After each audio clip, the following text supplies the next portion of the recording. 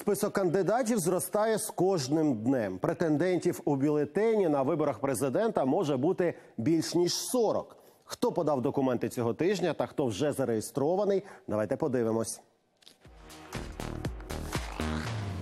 Перегони у розпалі кандидати в асортименті. Станом на сьогодні офіційно свої президентські амбіції підтвердили майже 40 кандидатів.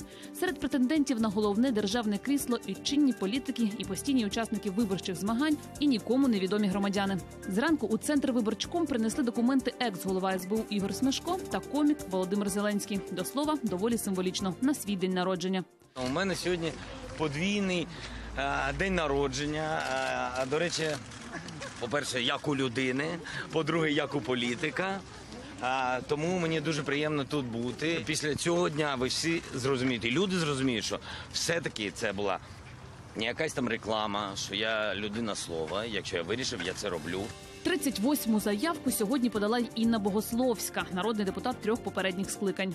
Новий президент має бути прозорим для всієї країни.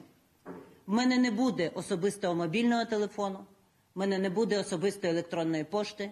Всі мої переговори і зустрічі будуть записуватися і а, будуть фіксуватися. Я відмовляюся від власного житла і буду проживати в офіційній резиденції, щоб у жодної людини в Україні і в світові не виникло підозр щодо порядності і відкритості нового президента.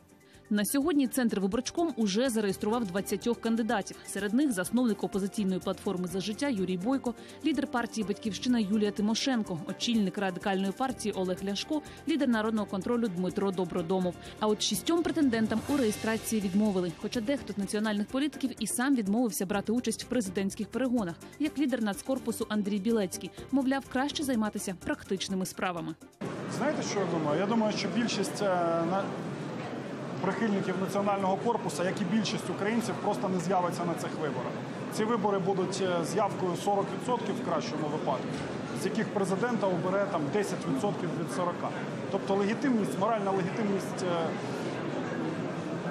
будь-кого да, в цій ситуації буде дорівнювати коли цифрі близької до нуля. Та й підтримувати нікого з кандидатів Білецький не збирається. Натомість робить ставку на вибори парламентські. Чинний президент Петро Порошенко документів ще не подавав і навіть ще й офіційної заяви про висунення не робив.